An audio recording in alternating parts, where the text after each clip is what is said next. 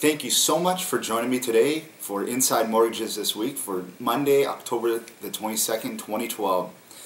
We are right now in my new digs at Mortgage Forces Ottawa, which is now located at 1376 uh, Bank Street at the corner of Bank and Ohio. Uh, this is a new exciting company where I can uh, do a lot more work with our DND and our our soldiers abroad. So it's a, it's a great opportunity for me and I can give the same uh, great rates. So right now we're looking at rates as low as 2.98 for five years with full prepayment capabilities, which is excellent. That a lot of people are going with that, a lot of my new first-time homebuyers.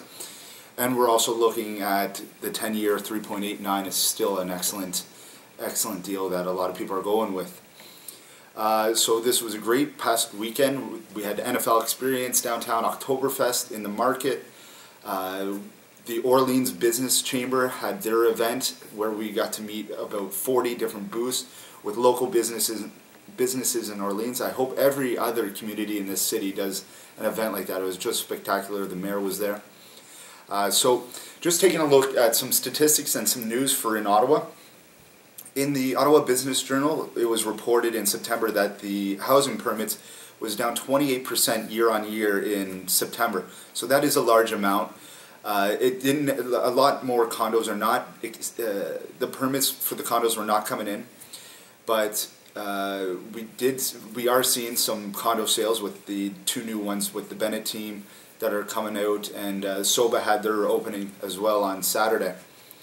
Uh, we also saw last week the Hintonburg Community Association drop their appeal for 1050 Somerset Street West, which will be coming in around the Breezehill area. Uh, so with and it's made with Claridge. So they're uh, they stopped the appeal mainly because there's a lot of concessions that were made by Claridge that will benefit the community in and around that area, and you're going to see that with a lot of condos coming uh, that are dealing with uh, zoning restrictions, you're going to see a lot more uh, consolidations for the, the community. Uh, in the National Post on Saturday, there was the article from Garry Marr again talking about the he's foreseeing their the housing prices going down. He's speaking with Benjamin Tal, the econ lead economist for CIBC. Uh, but in, in essence, I don't believe in the timing of the, the housing market, especially in Ottawa. Uh, housing in Ottawa has always considerably uh, increased steadily throughout the years, even if there is a still a 10% uh, correction, which I do not see in Ottawa. Housing prices have gone up about 28% in the past uh, four years. So it is an excellent market that we have in Ottawa.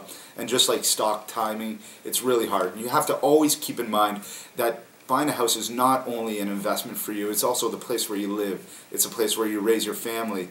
It's, it's the place where you're excited to go home to every single day. So you don't just view it as, a, uh, as an investment. That's a problem that the media kind of puts out there a lot.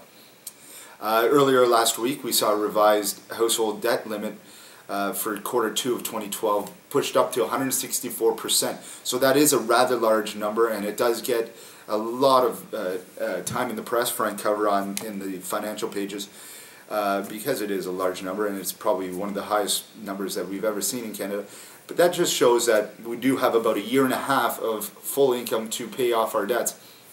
Not a lot of people do put their full income towards paying off debts, but it, we do have such great underwriting practices in Canada and your mortgage professionals and your loan professionals at the banks and institutions do follow strict guidelines to make sure that uh, we do not have problems like we they were there were in the United States where they didn't really look at the income. They they had a lot of gaps in their policies to push forth these mortgages. Uh, another major news is uh, MPAC's property assessments are starting to roll in in Ottawa for the 2013 year. Uh, they haven't been done in about four years since 2008. So, like I said earlier, housing prices have gone up about 28% in the past four years. So, and even in uh, places such as Westboro, where some people are seeing raise, uh, raises of 70% in the four years, a lot of people are getting worried about their property tax when those come in. You're going to see large increases and that will could be troublesome for people if they're on uh, just social or assistance from the federal government.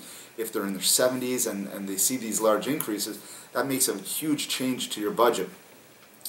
But I do put I have put a link below as to how you can uh, get a reappraisal if you do not believe that your house is worth the large amount that MPAC has set it as.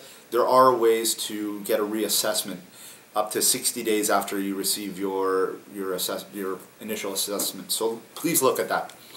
So uh, get in contact with me if you have any other questions in the mortgage industry. I'd love to talk to you about any of them. Uh, so have a great day and great week, and I hope to join you next week. Thank you so much. Have a great day.